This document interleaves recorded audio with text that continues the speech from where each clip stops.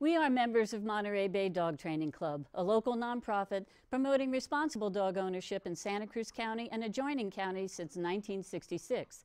We have year round classes in Soquel, Capitola, and Watsonville, training people to train their dogs. Aside from our annual agility and obedience competitions, we pride ourselves on our philanthropic endeavors, such as donating dog resuscitation masks to our local fire departments, vests for local police canines, and a Santa, Santa Photo fundraiser for senior citizens needing help with their dog vet bills.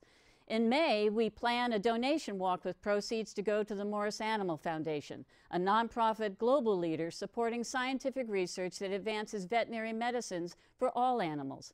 Some of the golden retrievers here today are in that program. We invite you to reach out to us at our website, montereybaydog.org, or catch us on Facebook at Monterey Bay Dog Training Club.